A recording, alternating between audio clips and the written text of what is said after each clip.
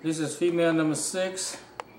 She's just like the male. She's actually a seal with a black mask, no white on her paws nowhere. She's kind of knocked out right now.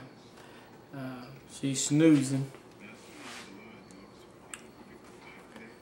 She has a little white on her chest.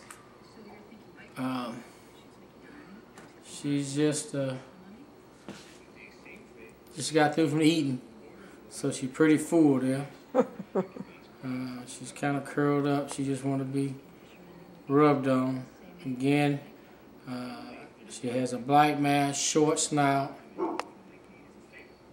Uh, again, she's got the red tint, but she's actually a blue seal, which is called just plain seal.